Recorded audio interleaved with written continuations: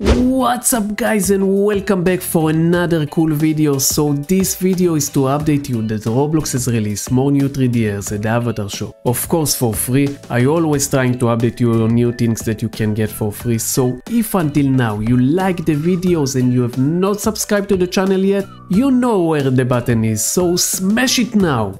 Okay.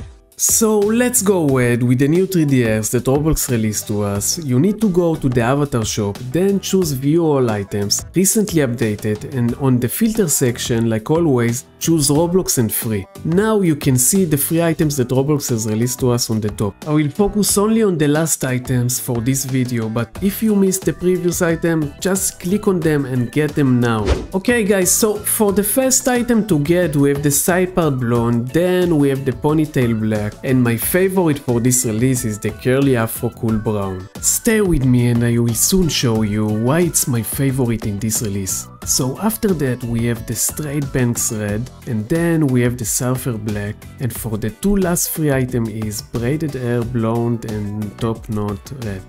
Okay guys, let's move to the avatar editor so I can show you how the new 3DS looks on the avatar. As you can see here, is the first one. I think it looks nice, same as for the ponytail black. And oh, my favorite item for this release. Look at this, it looks very cool, especially with the glasses, but the top of the item looks weird. It looks smashed, but after all, I still think it's cool item to get. And another one that looks weird is the straight bangs red. Look, the front and the back side is different color. I don't know, it feels very weird to me. And this is my opinion on the last free item guys, so that's all. Thank you so much for watching, more video will be uploaded with more free stuff, so if you enjoyed, make sure to leave a like and subscribe, turn notification on so you don't miss any more Roblox video, and see you in the next one.